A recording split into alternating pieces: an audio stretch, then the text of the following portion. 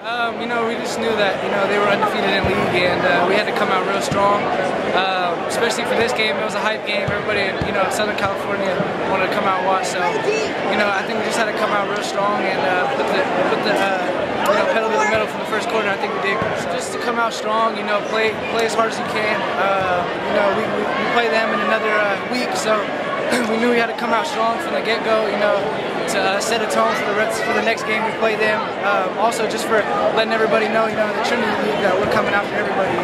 You know, we're, we're not the best for you know no reason. We, we got to come beat us first before we can start talking. You know, they turned they turned the lights off for player introductions. Like they were trying to copy us a little bit, you know, from our house. You know, we turned the lights off, but uh, you know, it didn't work for them. So, you know, maybe maybe next Friday we'll show them how you know the real lights get down.